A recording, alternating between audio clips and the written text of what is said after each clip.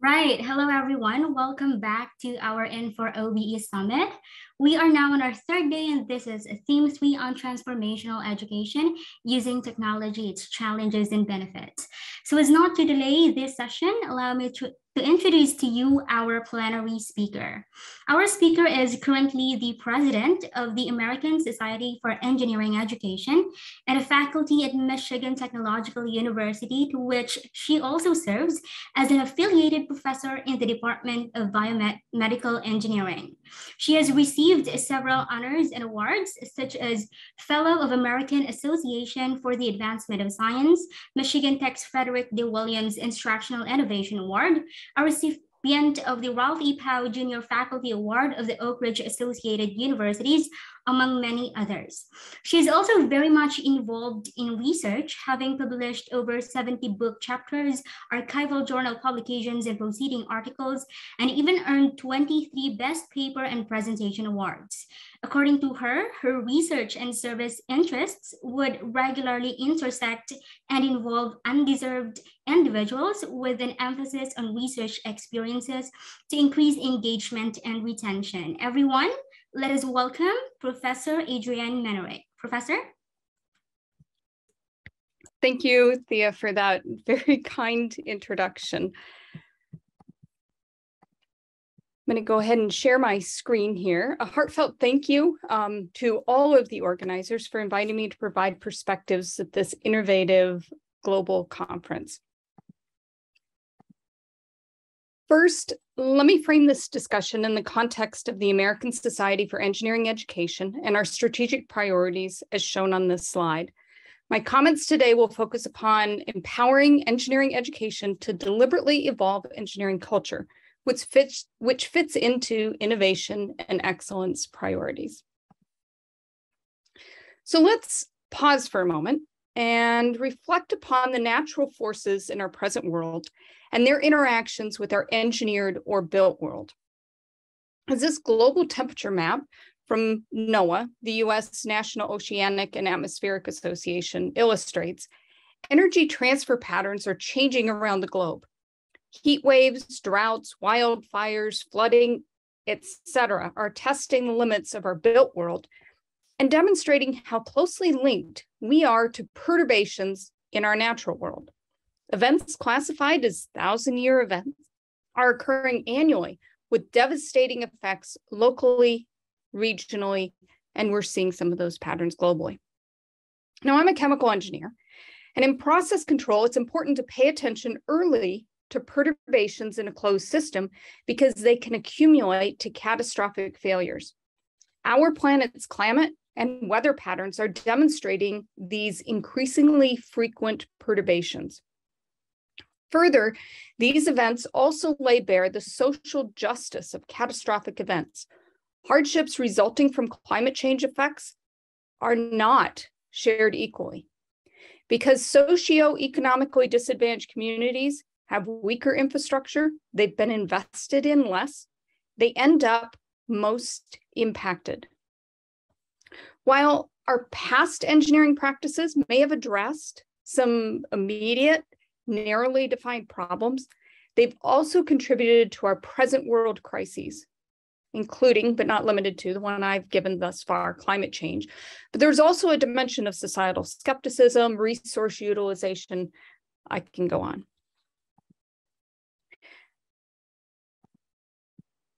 Now, these early perturbations can get overlooked when the larger system is not examined. So we've been trained to engineer four specifications. We engineer for society, we engineer for our built world, for technological and digital improvements, and for our planet. This ongoing and critically important challenge needs grassroots engagement and a pace of change greater than traditional engineering culture has allowed. It needs systems level thinking. So, why systems thinking? Well, our world is interconnected and interrelated. The solutions that our built, natural, digital, and social worlds so desperately need from engineers require us to work across disciplinary and organizational boundaries simultaneously leveraging our depth of knowledge in our subfields of engineering, as well as the breadth, systems level thinking, and framework. We each must start evolving our engineering culture to gain appreciation and respect for other fields and those fields' ways of knowing or framing their expertise. Yes, it takes additional effort and work to understand, learn even the terminology in some of these adjacent fields, identify the optimal tools for the problem at hand, and then co-leverage those tools for the application or engineering need. So systems thinking, we have to keep in mind this really is grounded in context. So skills in our students um, and ourselves as practicing engineers are developed from guidance and practice. Yet we have built into our engineering culture regularly used vernacular that suggests individuals are born with aptitudes, they're born with gifts or other abilities. They're just good at math, they're good at, etc. So when we frame engineers or budding engineers as having innate strengths or deficit skills only in a specific siloed skill set, we sell ourselves and we sell our students short. This is important because the engineering of the future really requires context. And that context, that knowledge, that awareness of the context requires that we ground that in our built natural technological and social environments of our worlds. It's in these contexts in which the engineered product or solution is utilized. If that solution or product doesn't fit the context, its value is significantly diminished. And we deal with the repercussions of the side effects of the poorly designed solution. Thus, context is the tool to drive more holistic thinking and to develop skills, not only in us, but also in our students that appreciate and bridge our built, natural, technological, and social worlds. In essence, we need to exercise our skills in working across boundaries.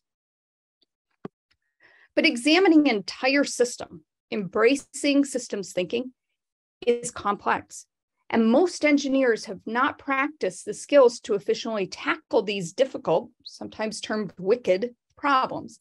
In fact, as engineering educators, we have traditionally taught in a manner that is idealized and linear, and design thinking, sort of yucky, squishy design thinking, only enters in in capstone classes.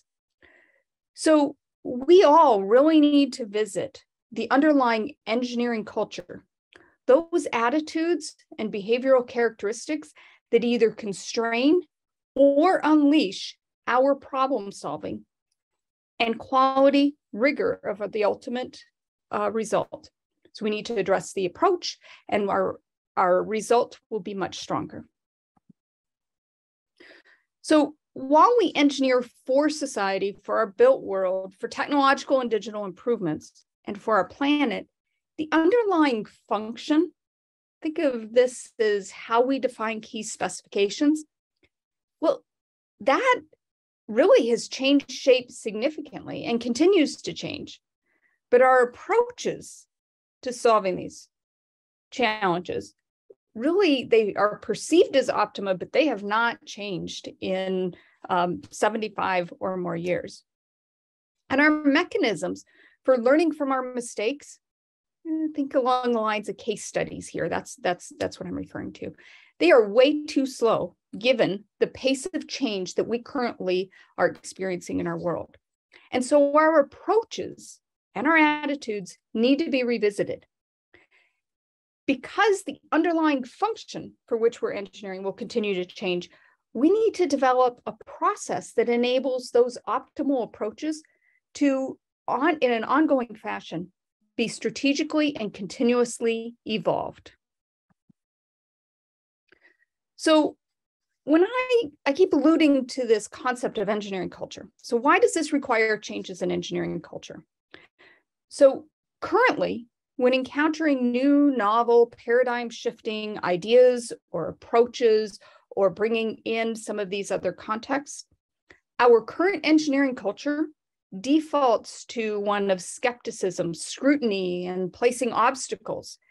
It is not currently designed for flexibility, exploring opportunities, or cooperative rigor. In fact, in engineering culture, we're frequently dismissive of other fields. Our existing engineering culture also hinders the quality and the creativity of the next generation of engineers. We'd like to attract and encourage a broader spectrum of students to pursue engineering. And we want to retain those already in engineering.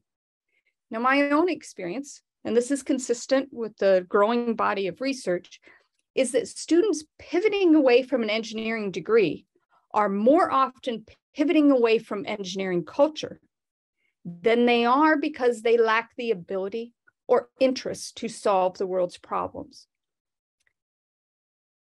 And so, as an example, as Dean, I examined GPAs. That is one indicator of this. And you will see that we have very highly talented students that are pivoting away from engineering. The point here is that our engineering culture, what we say, how we go about doing it, how we consider to include ideas or exclude ideas, determines whether the field of engineering can truly solve our current problems or just create even larger future problems. So, a global effort is needed starting today to restructure those portions of our engineering culture that make us more vulnerable and less able to meet the challenges of today and the future. The specifications we recognize to engineer for and how we engineer have significant impacts on the broader infrastructure and health of our planet. Just as a starting example in engineering education, we can actually learn from our students. They come to us at a stage of burgeoning awareness of the systems, and they're trying to explore which of those areas they'd most like to contribute to in their career. But think about how we do this. We have a series of tests or routing mechanisms that guide them into a specific silo. And then our curricula teaches to that disciplinary silo. Now, we may have design capstone experiences that involve a small number of other types of engineers but these rarely include sociologists, biologists, computer scientists, et cetera, all these other areas that examine other portions of our built social digital uh, worlds. Engineering graduates then are started down this path of broadening their awareness, but they really have, they graduate trying to learn on their own to function across boundaries. Many of our companies that are hiring our students have additional professional development for them to understand the different dimensions of that particular business. But there's not a strategic effort to tackle systems level problems, which is why we are floundering with things, big challenges, wicked problems like climate change on a global scale. So, really, innovation is needed here in the middle of the experiences and the education that we provide our students in systems thinking. Now, within our educational and professional realms, um, it's valuable for each of you in each of your contexts um, to discuss approaches that increase awareness and appreciation for the complementarity of the knowledge and techniques of other fields.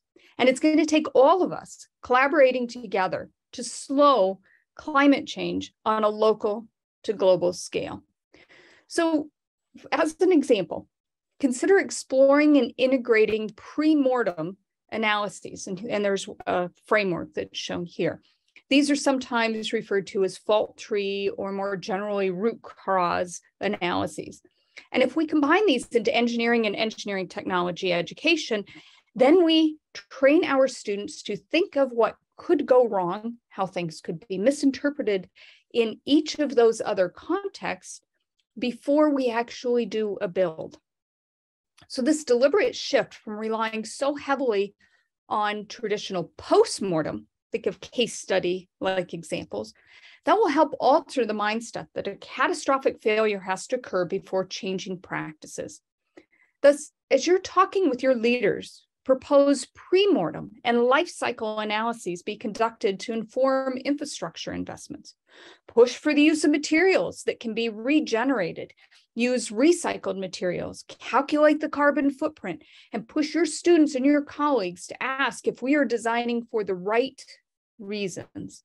Just because something can be done doesn't mean it should be done. So we are all a collective group of talented engineers and educators.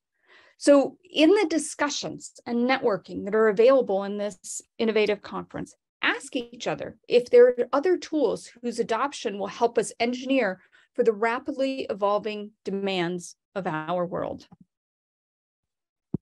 So, I hope I've convinced each of you to learn as much as you can about different systems. It's intimidating, it's challenging, totally worth it. And to intentionally redesign our culture to embrace those contexts so we can achieve a better future.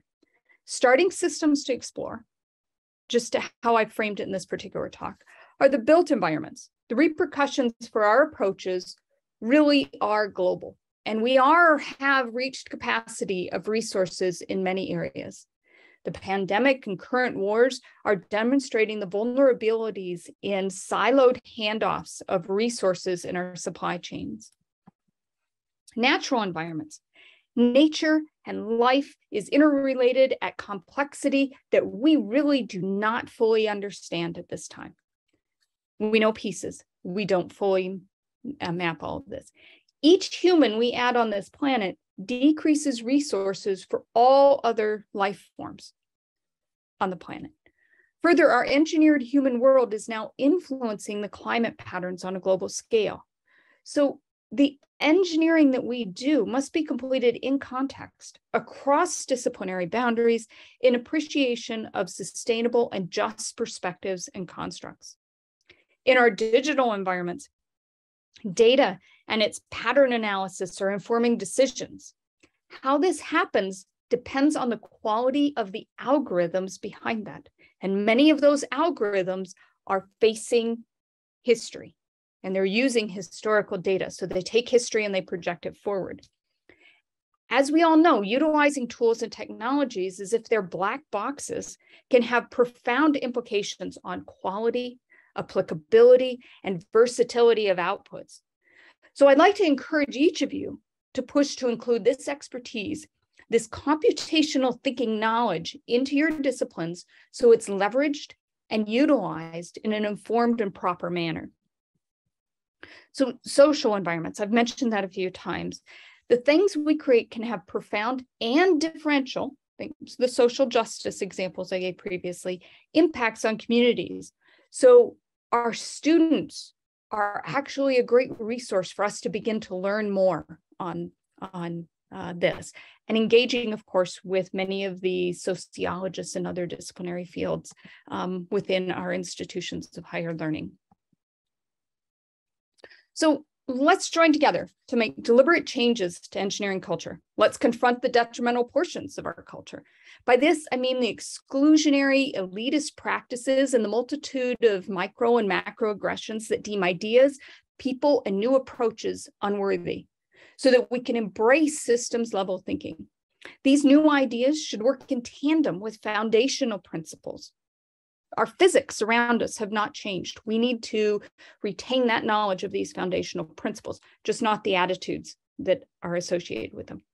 And that's essential to solve 2022 problems that remain sustainable solutions in 2052 and beyond. So thank you. I want to leave you with this quote, um, which I think explains uh, a ton culture, our engineering culture, is not a past cause to our current self. It's the current challenge to possible future selves. And culture is the key for us to be able to engineer for the future. Thank you so very much.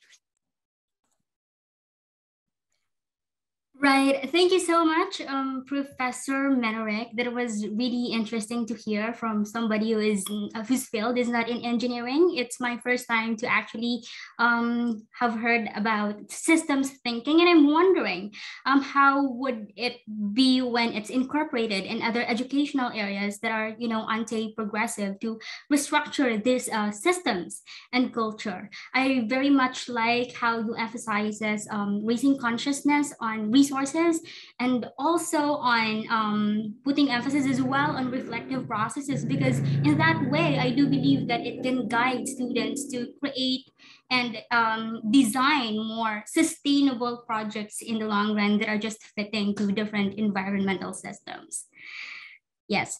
Um, once again, uh, Professor Adrienne, we thank you for gracing us with your presence for this IN4OBE Summit. Um, I think we are not allowed to entertain questions for this plenary session, so this is where we conclude. Thank you so much, everyone, for those who are watching us via Vertex.